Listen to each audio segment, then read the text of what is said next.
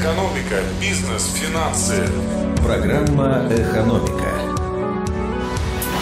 У микрофона Мария Кожевникова. Здравствуйте. За полтора миллиона рублей Вятавтодор займется содержанием кировских дорог. Подведены итоги двух аукционов, прошедших в регионе. На оба заявилась только одна компания. Она и одержала победу. Это Вятавтодор.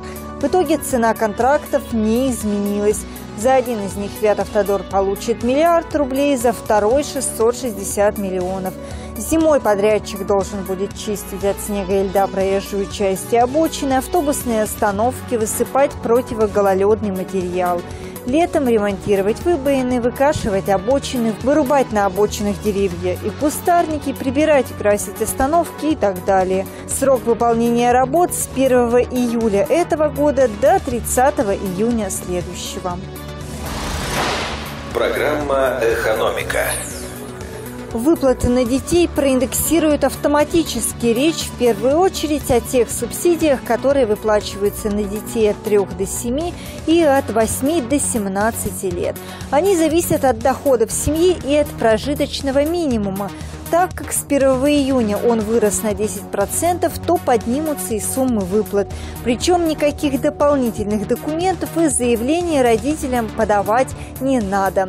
Теперь выплата в 50% размере составляет 6345 рублей, в 75% 9517, в 100% 12690 рублей. В этом месяце выплаты могут быть перечислены еще в старом размере, но до конца июня органы соцзащиты сделают перерасчет и на карты придет доплата, отмечают в областном правительстве. Кроме того, с июня изменится величина, с которой сравнивается доход семьи при определении права на некоторые меры соцподдержки. Это касается, например, выплаты при рождении первого ребенка, льготного проезда и так далее. Подробности можно узнать по телефону в Кирове 32 13 51. Экономика. На 101 FM.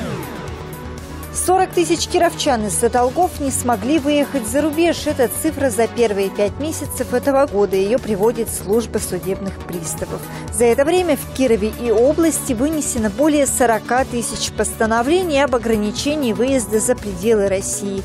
Из них почти 5,5 тысяч в отношении должников по алиментам. Экономика. И в завершении выпуска о курсах валют. Доллар сегодня 61 рубль 97 копеек, евро 65 и 91.